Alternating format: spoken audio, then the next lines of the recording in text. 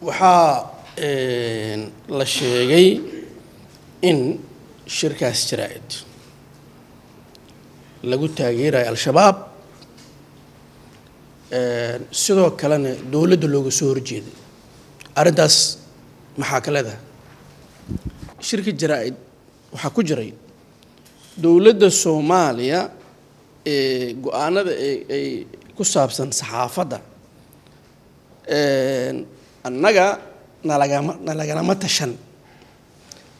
Markii hore ma jirtaa in laydinkala tashada jiray ama laydinka talageli jiray arrimaha saameynta ku leh saxaafadda?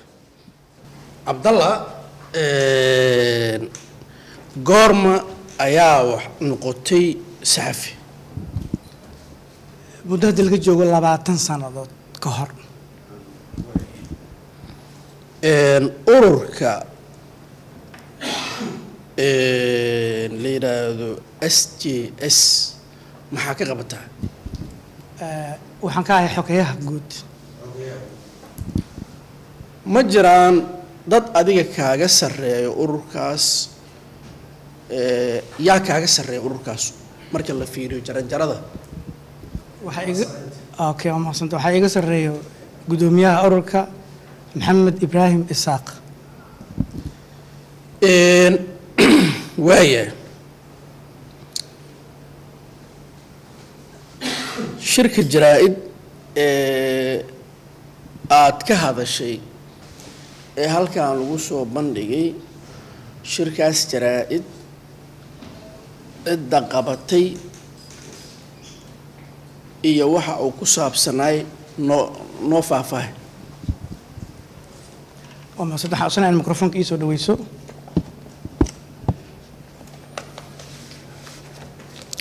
shirka jaraa-id ee aan qabannay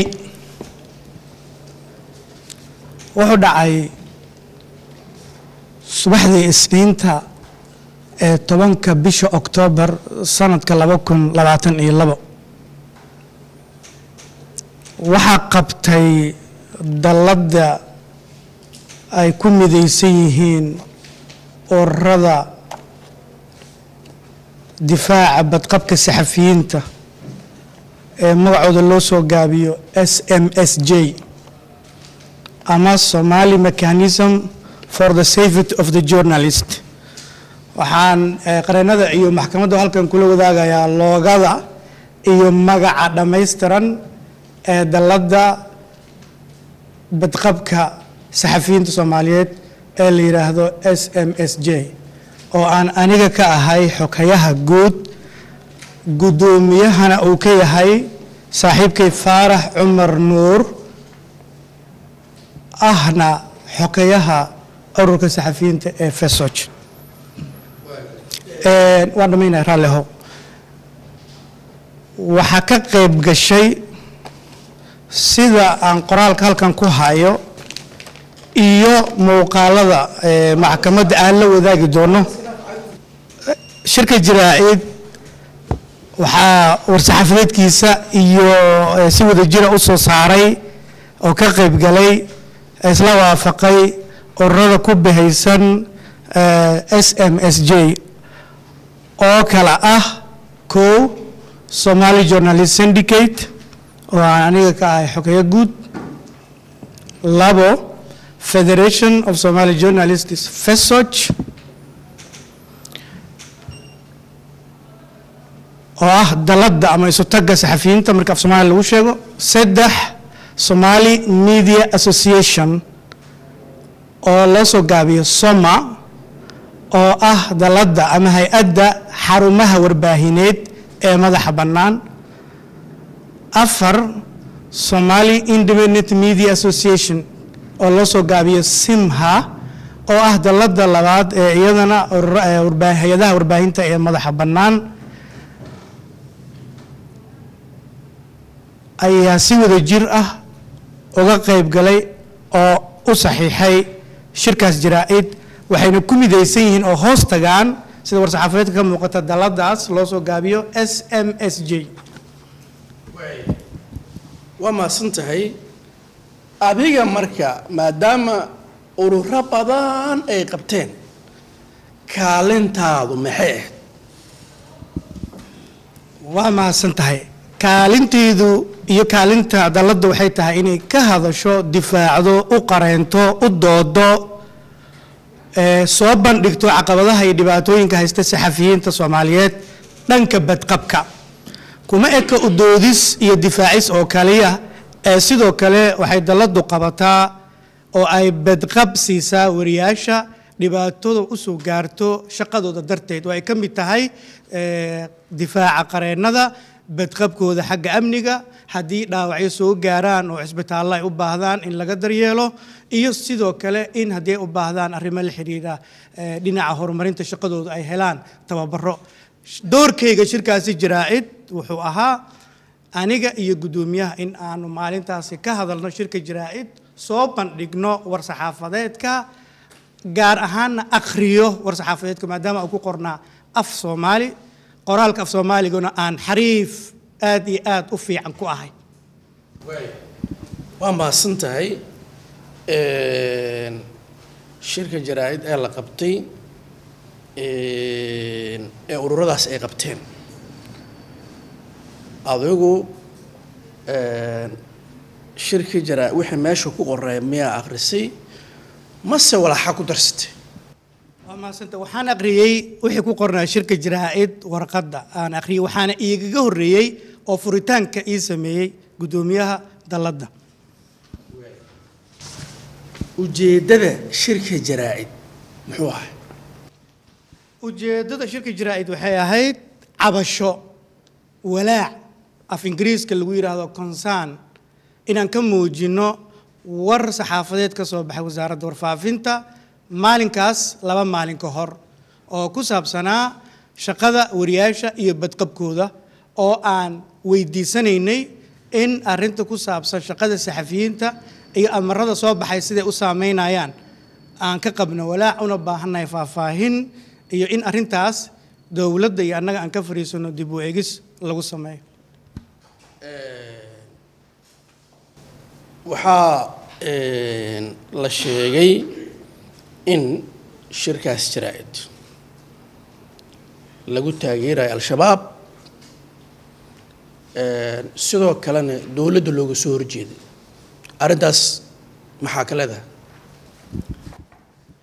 Ma jirto arrintaas waana been abuur bal shirka jaraa-id wuxuu taageerayey haddii aad fiiriso baaragaraafka u horreeya waxaan codsanaa in hal mar warqadda af soomaaliga aad siisaan baaragaraafka u horreeya waxaan jeclahay inaan akhriyo lai ogolaado. Baaragaraafka u horreeya annagoo ogsoon oo aaminsan in dagaalka u dhexeeya ciidamada dowladda iyo al-shabaab uu keenay walaac joogto ah oo la xiriira isticmaalka baraha bulshada oo loo isticmaali karo ujeeddooyin brobaganda ah. Waxaanu ka walaacsannahay ha yeeshee tallaabooyinka ku jira go'aankaas. Bal wuxuu taageerayey go'aanada dowladda ayuu taageeraya oo xoojinayey wuxuuna ka soo horjeeday adeegsiga brobagandada wasaaradda warfaafinta waxay soo saartay joodin warbaahinta internetka ee argagixisadu isticmaasho.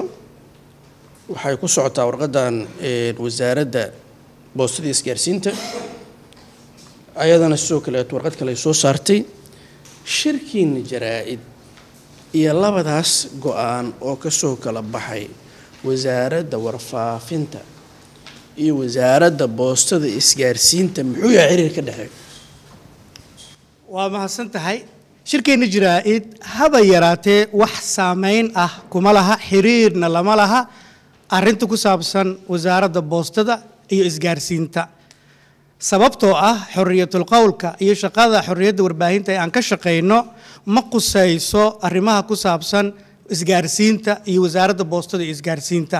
Sidaa darteed ma loo ictibaarin karo shirkeenna jaraa-idna kuma jirin meelna kagama xusna afkeennuna kuma sheegin arrin ku saabsan wasaaradda boostada iyo isgaarsiinta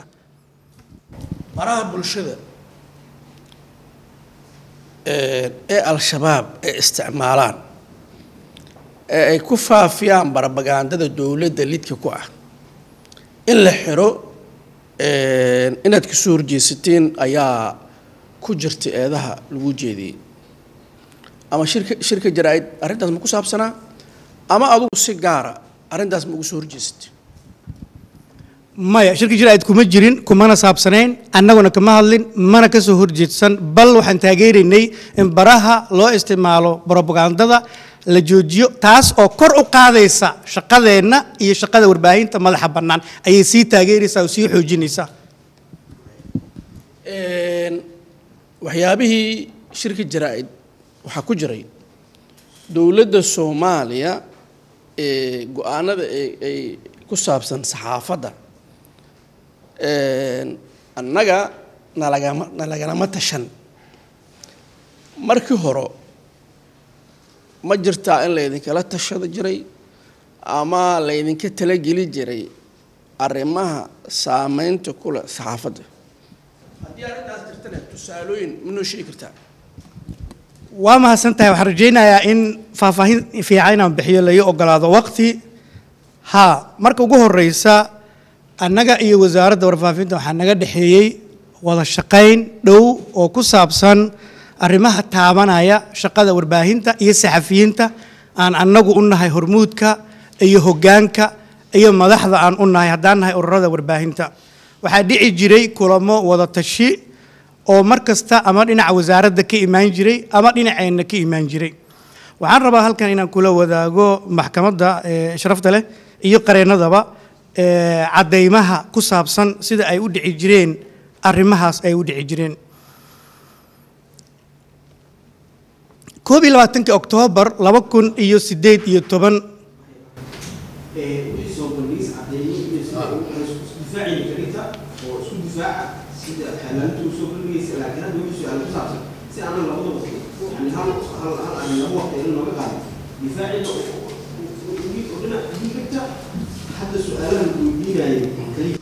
tusaalayaasha maadaam maadaama tusaalayaal la i weydiiyey ma tusaalayaasha raaco okay waay koob iyo labaatankii oktoobar laba kun iyo siddeed iyo toban tusaale wasaaradda warfaafintu waxay nagu casuuntay shirka heerka sare ee badqabka saxafiyiinta soomaaliyeed oo ka dhacay hotelka royal palace magaalada muqdisho. Caddaynta haddaa u baahataan waa diyaar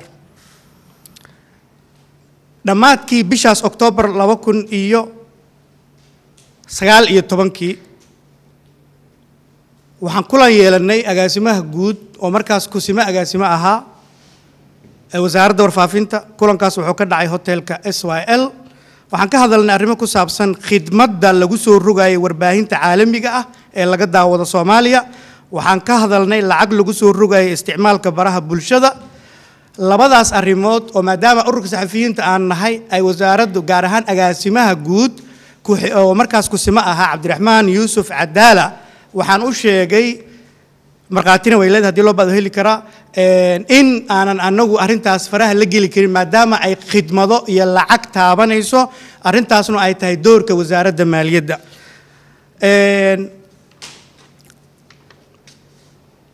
agost raalli ahow agost siddeed iyo labaatankeedii laba kun iyo labaatankii dood ayay qabtay telefishinka s n t v. Waxaa doodaasi looga hadlayay xeerka warbaahinta soomaaliyeed oo doodiisu ay socotay. Wasaaradda warfaafinta waxay naga codsatay inaan doodaas nimaano ka hadalno cabashada iyo walaaca aan qabno. Halkaas ayaan doodii uga qayb galnay kuna soo bandhignay caddeymihii iyo muuqaaladii way yaallaan. Waxay qayb ka ahayd kulamada wadatashiga iyo howlaha socday toddobiyo labaatankii mey laba kun iyo labaatan iyo labada wasiir ku-xigeenka warfaafinta ee hadda joogo cabdiraxmaan yuusuf cadaala ayaan kulan ku yeelanay hotelka dekaale magaalada muqdisho oo eeraboorka ku dhex yaalla wuxuu iigu hambeliyeeyey shaqada saxafiyiinta howlaha aan wadno. Wuxuu igu codsaday maadaama dowlad cusub ay dhalatay shan iyo tobankii mey ee doorasho dhacday oo madaxweyne cusub yimid in kulan wasaaradda warfaafintu ay qabanqaabin doonto wadatashi ah. Madaxweynaha lala yeelanayo aan ka soo qayb galno arrintaas oo aan ka aqbalay. Lix iyo tobankii agost laba kun labaatan iyo labo waxaa mar kale ku casuunay shirka arrimaha badqabka saxafiyiinta haweenka ah oo ururka saxafiyiinta s j s uu qabanayay arrintaas oo uu markaa naga cudur daartay laakiin noo soo diray qof kale oo wakiil ahaa wasaaradda ka socday afar iyo labaatankii juun laba kun labaatan iyo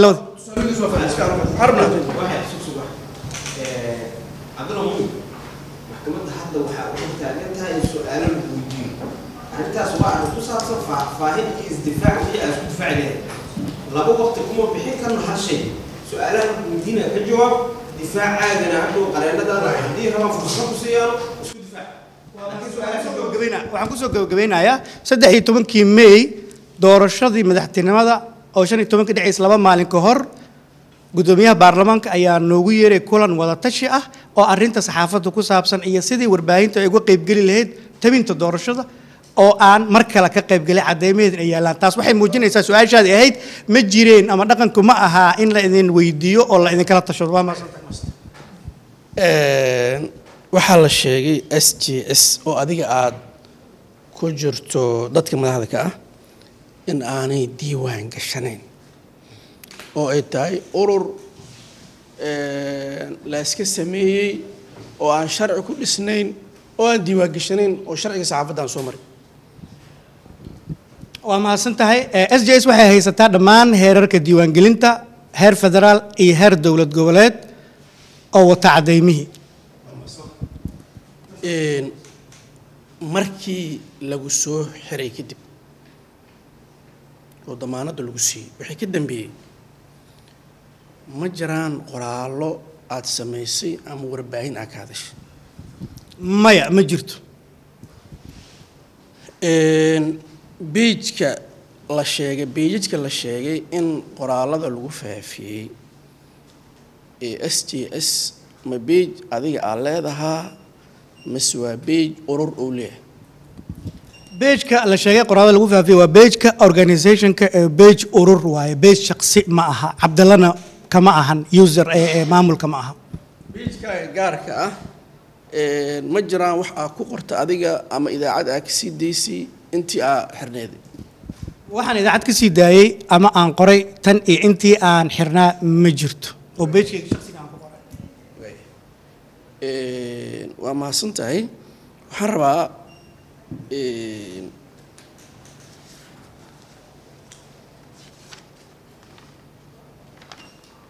aniga waxaan rabaa inaan intaas okay. Waxaan rabaa waxaana loo daaray video adiga aa halkaas fadhido nin uu hadlaayo ou waxyaabo ka sheekeynayo videogaas adiga aa fadhiday muxuu ku saabsanaya? Munaasabad. Munaasabad faamil oo dhinacna dhaqan ka ahayd dhinacna aroos ka ahayd ayaa lagu casuumay. Ehelkayga ay leeyihiin ayaan tegey oo aan ka qayb galay. Kama hadlin kama qudbaynin. Dadka hadlaaya waxay ku hadlaayaanna lama soconin mana fahamsanayn. Iyo mana qorneen anna uma qorin. In kulankaas aada adigu abaabushay oo aada ugu tala gashay inaad fidno ku kiciso aa lagugu eedeeyay waa been abuur. Qofka eedaynta keenaa laga rabaa inuu u caddeeyo inuu aniga abaabulay oo sameeyey oo meesha ka hadlay. Waa mahadsan tahay beijka s t s waxyaabaha lagu qoro. Waxaa ka mid ah ee sida la sheegay in wasiir ku-xigeenka warfaafinta iyo iyo adiga ay dacwada ka dhexayso ama s t s. S t s iyo wasiir ku-xigeenka warfaafinta maxaa u dhexeeya?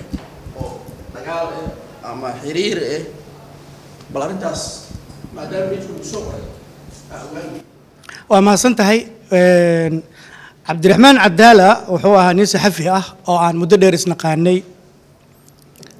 Ha yeeshee ay noo dhexaysay ee, khilaaf aan anigu ku tilmaami karo inuu yahay shaksi marna ku saabsanaa dano dhaqaale marna ku saabsanaa arrimo shaksi ku saabsanaa. laba kun iyo siddeed iyo tobankii waxaan la shaqaynayay idaacadda b b c da qaybteeda wall service-ka. Waxaanu soomaaliya ka samayn jirnay barnaamijyo documentary ah. Wasaaradda warfaafintu waxay siin jirtay saxafiyiinta imaanayo dibadda ka imaanayo fasax ee ay dalka ku soo galaan oo aan fiisa ahayn laakiin fasax kale ah oo lacago looga qaadi jiray saxafiyiinta. Tusaalooyinkoodan aan hayo muddo dhowr jeer ayaan codsiyadaas ee wasaaradda geystay lana lagana aqbalay. Aniga shakhsiyan iyo tiimkii ila socday. Laakiin aan su'aal ka keenay lacago laba boqol oo dollar oo qof kasta laga rabay maadaama aan ahay muwaadin. Ee dadka imaanayna saxafiyiin ay yihiin fiisoha iyo arrimaha dalkugalkana ay leedahay immigrationka ay leedahay warqadda lacagta aan ku bixinana aysan ahayn rasiid wasaarad maaliyadeed. Arrintaas ayay meesha ugu horreysay ee cadaawadda ah ay ka soo bilaabatay. Laba kun iyo siddeed iyo toban mar kale waxaan ka wada shaqaynay barnaamij la yidhaahdo cafis. Waxaana dhex maray arrin ku saabsan lacag oo uu markhaatina leedahay dhowr jeer aan ka waayey laakiin markii dambe aan si dirqi ah iyo dhibaato ah aan uga helay. Markii la bilaabay ururka s j s laba kun iyo sagaal iyo toban codsigii ugu horreeyey ee ku saabsanaa diiwaangelinta ururka markii aan wasaaradda geysanay maadaama uu ahaa agaasimo guud uu ahaa arrintaas wuxuu ka keenay su'aal gaar ahaan magaca ururka ee aan wadano ee ah soomaali soomaaliga ku jirto. Aniguna waxaan ku yidhi miyaanan soomaali ahayn oo soomaalinimada noo diidan tahay inkastoo fasaxayna markii dambe lehel waa mahadsan tahay abukaatay iraalho waa dhamayn rabaa. Waxa nagayaabaha naga dhexeeya waxaa ka mid ah iyadana in maalintii aanu qabanaynay shirka jaraa'id subaxdeedii si shaksi ah uu u soo wacay guddoomiyahayga maxamed ibraahim isaaq oo uu yidhi haddii shirka jaraa'id aa qabataan waxaan idinla dagaalamayaa. Sidii al-shabaab gaar ahaan magacayga ayuu sheegay oo ah cabdalla muumin ayuu sheegay. Waxaa jirta laba kun iyo labaatankii in wiil saxafi ah oo la yidhahdo maxamed cabdiwahaab abuuja la xiray oo nabad sugiddu ay xirtay wasaaradda warfaafintuna warqad ay soo saartay. Maadaama aan ka mid ahaa dadkii difaacayay waryahaasi waxaa iyadana meeshaasi ka dhalatay cadaawad shaksi ah. Markii kiiskii waryihii uu dhammaaday ee abuuja la sii daayey toddobadii noofembar laba kun iyo labaatankii subax saddex saac ah anigoo fadhiya hoteelka afriik kilomitr for waxaa isoo wacay xeeraalya ku-xigeenka farxaan xuseen oo hadda inta fadhiya oo iigu hanjabay in uu kiis iga geynaayo maxkamadda oona uu dacweynayo taleefonkayga shaksiga ah ayuuna iga soo wacay si aad ugu adeegato premier wallet keliya taabo batanka bay ku aadi kaamirada q r-ka goobta aad wax ka iibsanayso geli lacagta iyo faahfaahin kooban. Taabo next. Kadibna confirm. Ugu dambayntiina geli mbiinkaaga si aad u dhammayso iibsashada. Premier wallet waa habka ugu casrisan ee aad ku adeegan karto maalin kasta